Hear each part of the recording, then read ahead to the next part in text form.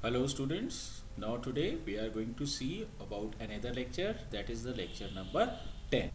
In this lecture we are going to see about the relationship degree, role, name and the recursive relationship. So we are going to discuss in this lecture about the these things one by one. The first is the degree of relationship type.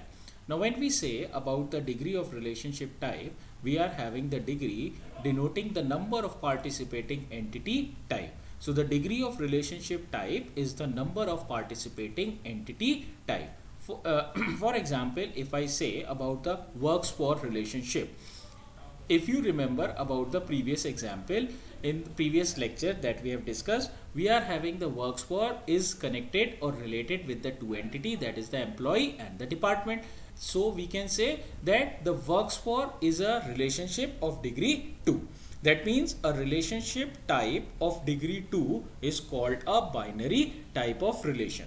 That means if we are having the relationship with more than two types of participating entry entity then it becomes the degree 3 and such type of relationship is called as the ternary relationship if we see in a example then these are the examples that denotes the ternary relationship. Here you can see supply is a relationship connecting the two entities. First is the supplier second is the part and third is the project. So supplier, part and project are related with the supply which is acting as a relation between these three different types of entity. Therefore, since we are having the three entity in this, the degree will be 3 and the name of the relationship will be called as a ternary relationship. So generally if we see we are having the degree that denotes the number of participating entity type. Now if there is one point to note about the degree that generally one only binary relationship is considered.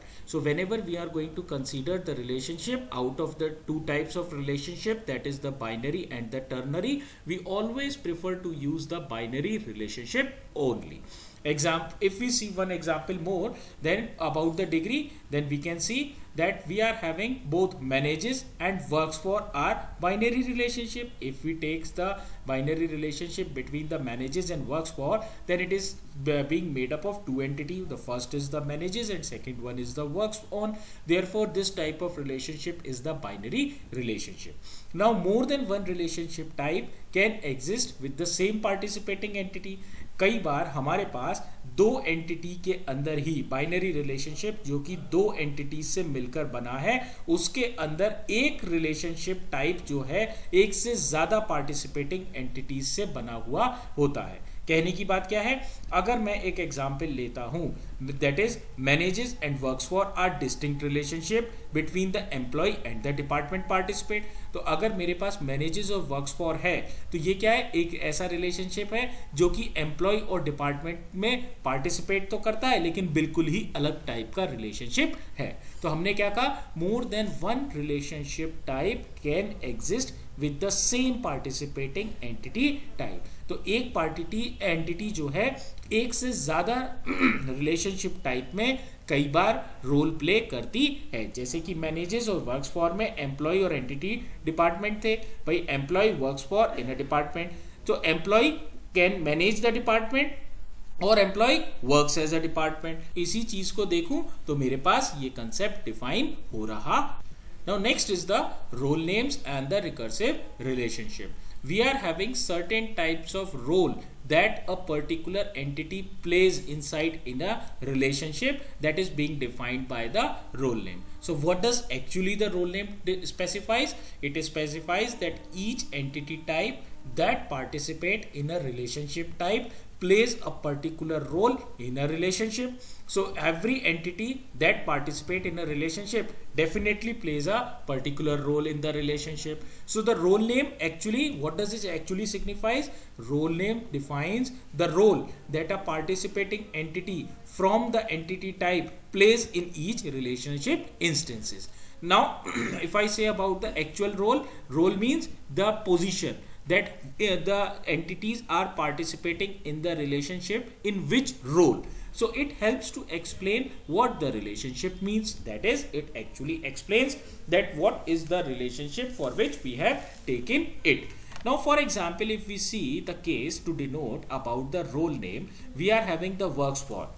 In the works for relationship type, we are having the employee that plays the role of employee or the worker and in the department department plays the role of department or the employer. So what we can say the role is clearly specifying that employee is related to the department as a worker or as an employee and department is related to the employee either as a department or the employer. So this type is being specified by the term that is role name next is the recursive relationship now sometimes role names are not technically necessary in a relationship type. Now sometimes we say that the role names are not technically necessary in a relationship type where all the participating entity types are distinct. So sometimes what we say that the role names are not needed. They are not technically needed in a relationship type where all the participating entities are since all the uh, participating entity that we are having are different. Now if we are having this thing then what we say that each that each participating entity type name can be used as role name. That means uh, what is the participating entity in a relationship will define the role name but in some cases, the same entity type participate in more than one relationship with a different role. So in such cases, the role name become essential for differentiating that the entity participating entity plays which role. Such type of relationship in which we are having one entity playing the multiple role are called as the recursive relationship or self-referencing relationship.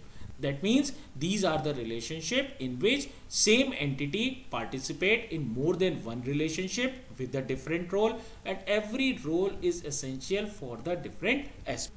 Now if we see the case with the help of a simple example, the supervision is related to employee to a supervisor. If we say the supervision entity is related to the employee entity as a supervisor where both employee and supervisor entities are member of the employee entity set. That means we are having the supervision that is related to the employee as a supervisor. That means the employee who supervises as or act as a supervisor or the boss. That means the employee and supervisor entities are the member of the same employee entity set.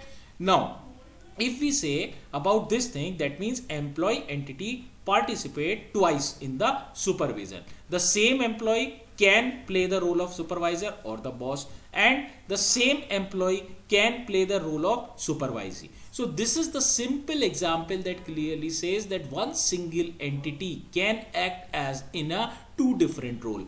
That is employee entity can play the role of two types that is one in the role of supervisor or the boss and other in the role of supervisee or the sub.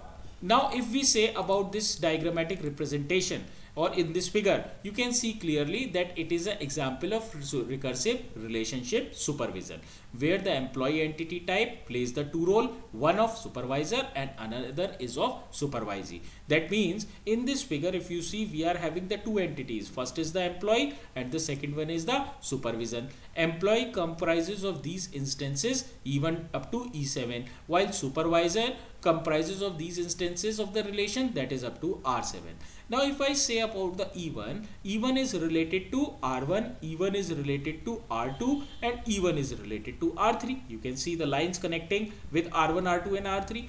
But there is one term that is written for this line that it is specifying the 2, it is specifying 1 and it is specifying 1. So what does this 1 and 2 specifies? That E1 is related to R1 in the role of 2 that is as a supervisee while E1 is related to R2 as in the role of supervisor that is 1. Similarly, E1 is related to R3 in the first type of role that is written by 1 that is as a supervisor. So this is an example that clearly describes that when one entity can participate in the relationship in multiple roles then such type of relationship is called as a recursive relationship. So here if you see about the key points the figure explains that each relationship instance Ri in the supervision is related to two different employee entity EJ and EK in the role of supervisor and supervisor. Now the in this figure uh, if you see we are having the lines marked 1 represent the supervisor role while the line marked 2 represent the supervisory role as I told you. So that, that means if I see that E1 supervises the E2 and E3 we have we have seen that E1 is supervising the E1 is supervisor of R2 while E1 is acting as a worker or supervisee for the uh, relationship R1 while E1 is supervising or the boss of R2 and the R3 क्योंकि यहाँ पे 1 1 लिखा हुआ, ये lines बताती हैं कि E1 supervise करता है E2 और E3 को E4 सुपरवाइज करता है E4 सुपरवाइज करता है E6 और E7 को, और E5 सुपरवाइज कर रहा है E1 और E4 को। तो इस रिलेशनशिप के इंस्टेंस में अगर आप देखें तो दो लाइन है। पहली लाइन वन से डिनोट करती है, जो सुपरवाइजर के रोल को बताती है, और दूसरी टू से कनेक्टेड है टू लिखा हुआ है, जिसमें सुपरवाइजी का रोल डिफाइन किया So this is all description that says that how we are going to specify the role names and the recursive relationships. What is the role and what is the recursive relationship? So we can say recursive relationship is being specified when we know the role names. So this is all about the simple concept demonstrating about this thing. Okay. Thank you.